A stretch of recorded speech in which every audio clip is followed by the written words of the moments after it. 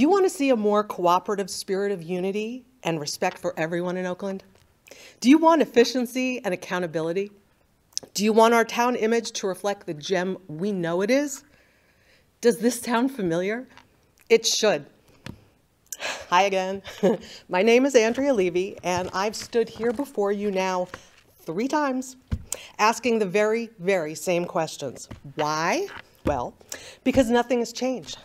And I'm sure you can agree, Oakland deserves better. Oh, I'm not just a local realtor, I am also a passionate advocate for our community, a doer and a leader.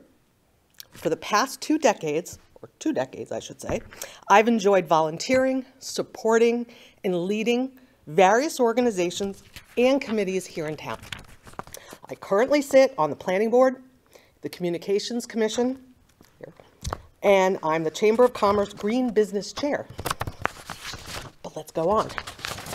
I'm part of the Public Events Committee, bringing outdoor movies to Veterans Park, and the Sustainable Oakland Green Team, sponsoring styrofoam drives and leading first Sunday hikes through our beautiful Ramapo Lake.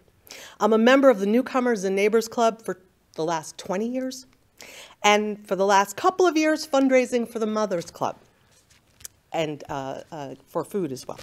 I've been VMS PTO president when nobody else would step up, and previously led Flow Follies for nearly eight years as executive producer.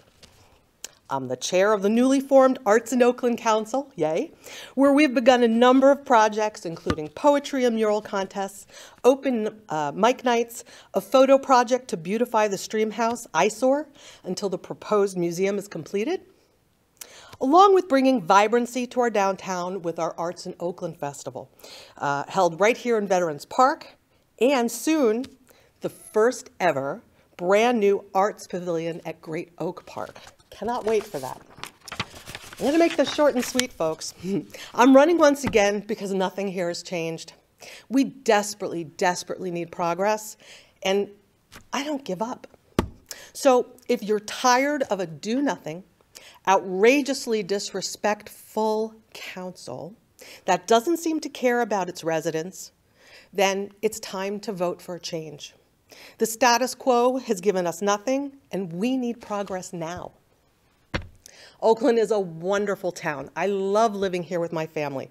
But we all know there's a lot of work to be done. We can be so much more, but we need a new, enthusiastic, supportive council that has real vision and will work tirelessly to implement initiatives and pave the, pave the way for a new era of progress. It's time for a change. I'm asking that on November 7th that you take action and please vote for me, Andrea Levy, along with John Bialy, and please re-elect Mayor Linda Schwager to bring a brighter future to Oakland. Vote November 7th. Andrea Levy. Thank you.